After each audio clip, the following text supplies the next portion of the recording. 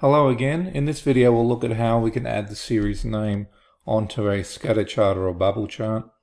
Um, I've got some very simple data set up here to allow us to do that. Unfortunately in Excel if we simply go and try to do this fairly fairly quickly we get some bizarre stuff um, and it's actually quite difficult to to call it anything because when we had a look at the what the options are a series name comes up like that and we want to get A, B and C um, so that's not ideal. So I just clear all that. So what we have to do is start with a blank chart.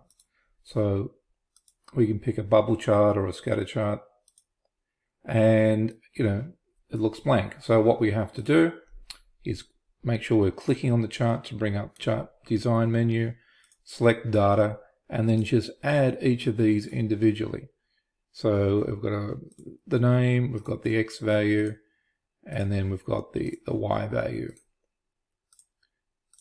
And I'll just clear that okay.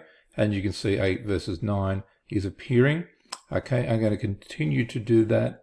Uh, again, select data, and then add, and then continue on. I'll just pause the video while I do that. Okay, I've just added A, B, and C. So you can see they're just picking up these values across here 2 and 5. Okay, so you can just continue on doing that. And you can see we've got a, a scatter chart appearing. And now we want to add the labels. So we go into data labels over here, go to more options.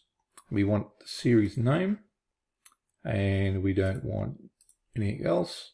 And you, you can have them in the uh, there or, or above or wherever you wanted to have. If you wanted it centered, then you have to go through and remove the marker uh, as well. But basically, that's all we have to do.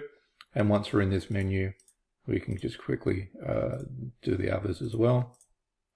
And um, the same thing applies if we do a, a bubble chart.